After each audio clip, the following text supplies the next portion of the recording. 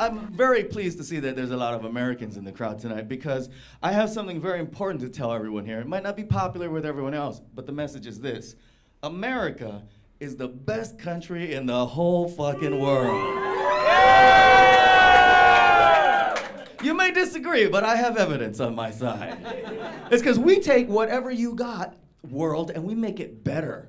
No matter what you got, if it's your best stuff, we'll take it, we'll make it better. That's what we do. Irish had a, had a holiday, St. Patrick's Day. It's a day we celebrate the driving of the snakes out of Ireland with a magic shillelagh. We're like, give that to us, and we're tinkering with it, and we're like, haha, now it's about drinking and violence. we made it better. We even added arcane rules to it, like, oh, if you're not wearing green, we punch you. Mexicans had Cinco de Mayo. It's a day we celebrate, the day we defeat the French army. Like, give that to us. We'll fucking tinker with it. Now it's about drinking and violence. we make everything better. Christmas, yeah, celebrate Jesus' birthday. No, give that to us. And we'll tinker with. it. Now it's about presents and drinking and violence.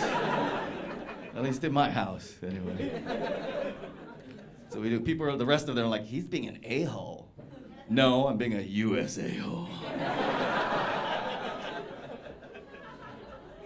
we make shit better. Some stuff we go overboard with, like uh, coffee.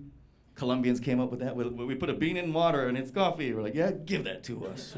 now it's a bean in water for 40 bucks. Yeah. Starbucks. That, that, anybody really like Starbucks? Uh, Starbucks took the whole coffee thing too far. I think the only thing I really like about Starbucks are the sizes, because uh, instead of small, medium, large, it's uh, tall, grande, and venti. That's, yeah, I'm not small anymore. I'm tall. yes. But the rest of Starbucks, they really screwed up. They took it too far. Like the, uh, you go to pay for your coffee, and I don't drink coffee, by the way, because it'll stunt your growth holding out. Uh, I drink chai tea lattes because I'm an asshole.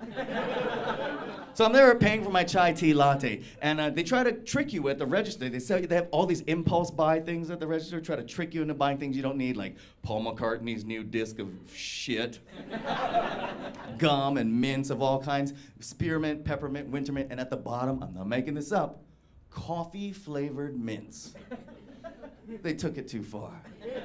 Isn't the whole purpose of mints to get rid of that assy coffee taste in your? I mean, who came up with this brilliant pl- from the people that brought you fish scented douche? It's coffee mints. Not the best product ever.